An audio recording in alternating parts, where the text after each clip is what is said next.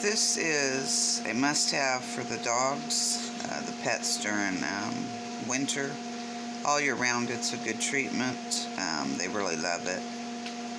It's got a little bit of skin, sometimes a little bit of bone in it for them as well. It's great for um, myself as a early morning uh, treatment.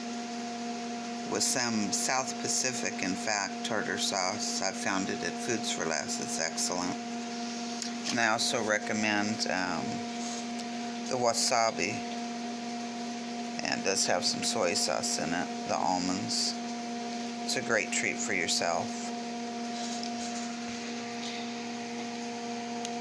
And this Christmas angel here